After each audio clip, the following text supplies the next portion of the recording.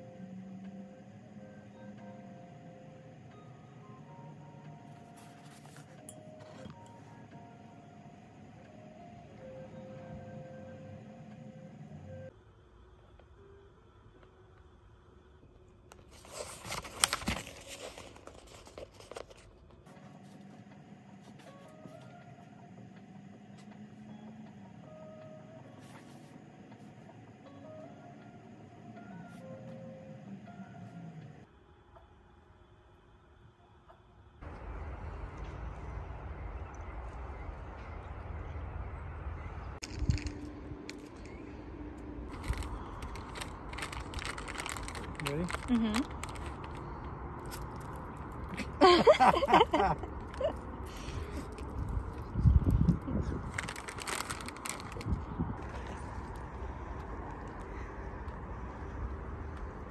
like a giant electric fence for each straws.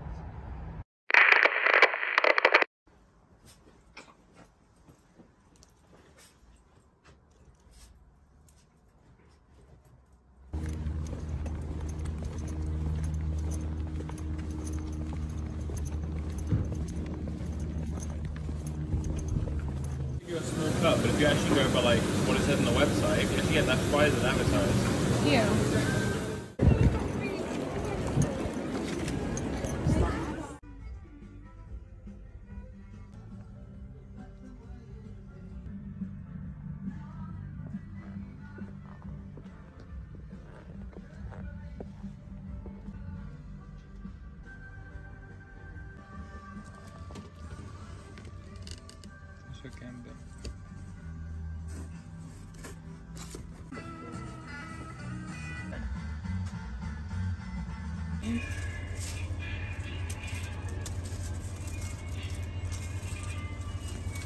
Pencil.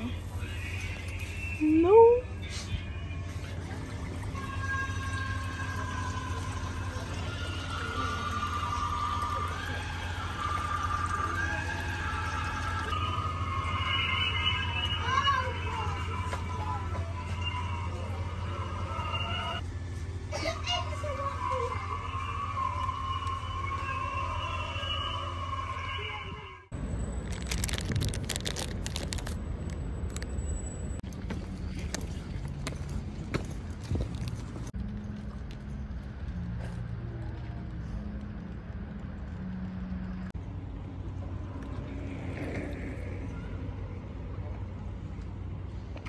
Something?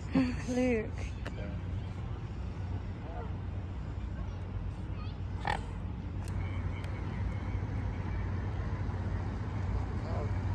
You got any snacks for us? Only like Harry Haribo dinosaurs.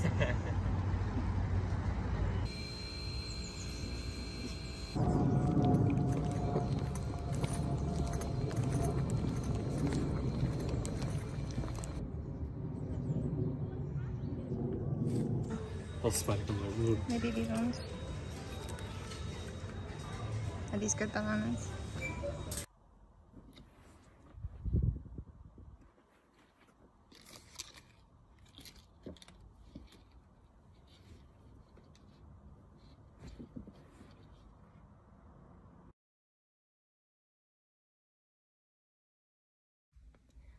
Hi everyone, I hope you're doing okay. Um, this week I wanted to talk to you about my notebook because um, obviously it's not the one that you usually see um, and I know that some of you will notice um, and I would have to talk about it eventually anyway. Um, this obviously is not my A6 Hobonichi Avec notebook, this is a week's book. Um, my A6 is here. Um, at the beginning of the year, when I was deciding what I wanted to do for the year, I bought both books so that I would have the option of both um, or either or. I wasn't sure how I wanted to do things, um, but in the end, I chose the A6. Um, this last month has been a bit weird for me notebook wise. I just haven't been reaching for it in the way that I normally would. Um, and I think maybe it's because I fell a bit behind and then I was just busy doing other stuff. Um, and then suddenly there's so much to catch up on. But also because um, I was monitoring like the Hobonichi like previews for September. Um, and like none of the A6 covers were that cute. um, so then I started thinking about the weeks. Um, and then last week, um, I remembered that I had a weeks still in my room somewhere and I found it. Um, and I was like, well, what if I just set up a week in here and see how it looks? Um, like for no reason. Like I don't have a justification for this. Like I just, it just happened, okay? so I found the weeks and I set up a week in it and I had a running to-do list on this side and I actually got a lot more done than I normally would. Um, I think the problem with my A6 book is that sometimes if I get behind and then I don't catch up and then because you use a page a day, sometimes when I turn the page, I'm like, okay, all of those uncompleted tasks no longer exist, which isn't true. But I have some issue with like, not object permanence, but remembering about things when I can't see them. Um, so every time I turn a page and forget to move the tasks over, I just forget about the tasks. Like, I, I don't know. It seems really silly to sit here only like a month or two after I just started my the second half of the year in the A6 and being like it wasn't working for me because obviously it was until it wasn't anymore, I guess. I don't know, like it sounds silly and it feels silly. So if you're thinking that I sound silly, don't worry. I also think I sound silly. Um, I don't know what to tell you. I hit a slump. I hit a bit of a wall with the A6. I already had a week's in my bedroom. So I just gave it a go and it's working. um, and then uh, yesterday, the 25th, Hobonichi did the full preview of all the new books for the September, which you can pre-order, ready for the new year, um, and the weeks of the cutest books. Um, I don't know if anyone else feels similarly, but a lot of the covers were kind of disappointing this year. Um, I know that obviously you're not going to love every cover every year, like sometimes some years you're just not going to aesthetically align with Hobonichi as a company. Um, but this year it kind of sucked, I guess. Um, everything was quite floral or brightly coloured or like pastely and I don't really like any of that kind of stuff. Um, but some of the week's books were cute. So the book I've been testing things out in is um, a week's mega, so it has extra graph paper pages at the back. Um, and it just has a clear cover on it. I don't really love this color or the orange numbers, but you know, that's what I had. Um, so what I've been doing is making notes about my day on the left hand side and then keeping a running to-do list on the right hand side. This is the same habit tracking that I had at the top of my A6 pages. And then I'm just keeping a running log of my weekly tasks on this side. This is this week's. Um, and it's working really well. I'm using a yellow Mildliner to highlight urgent tasks, like work tasks mostly and that's how I'm keeping track of things and it's working really well. I'm keeping track of what I'm watching and reading at the bottom as well. Um, and I'm a lot more efficient, so I don't know if maybe this is the direction I need to be going in. Um, and originally, if you can hear Wednesday whining outside the door, I'm so sorry.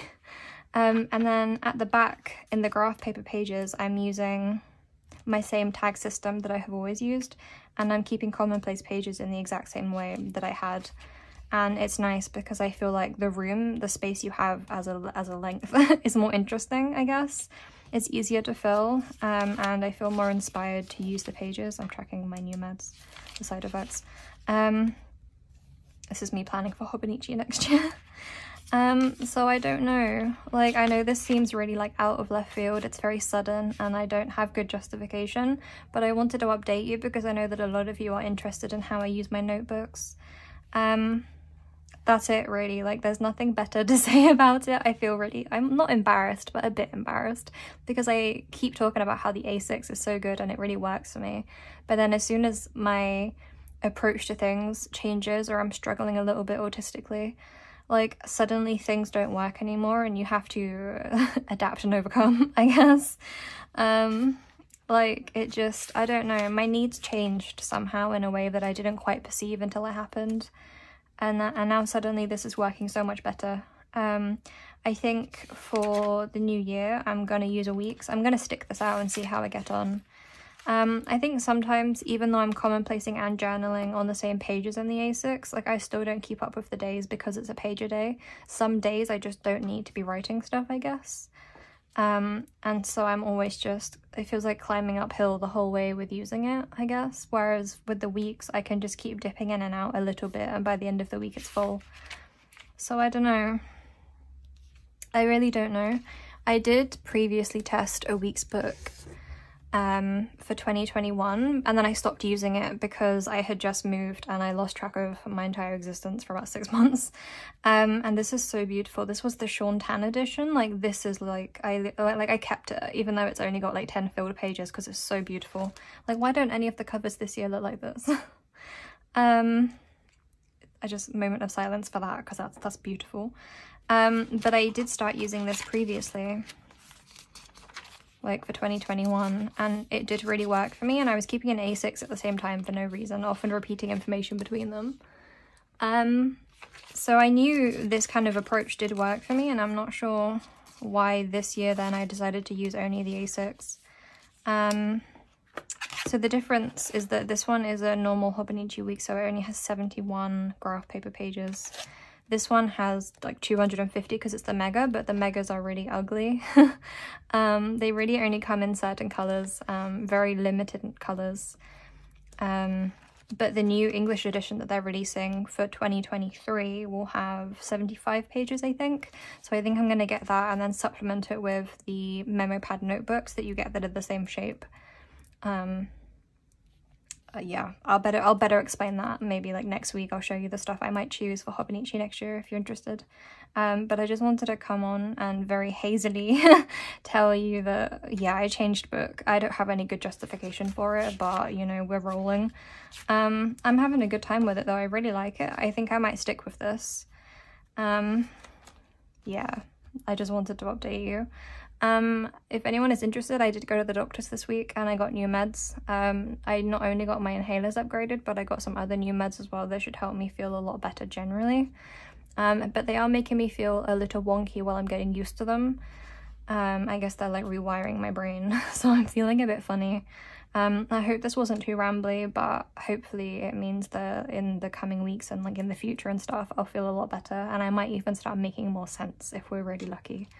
Um, oh, I also finished um, A Court of Silver Flames, the last book in the series at the moment. I think someone told me there was going to be one more, um, but I finished this one. It took me a lot longer to read than the rest of the series. I read the like the first like four or whatever books in like a week, and then this one took me like a week in itself.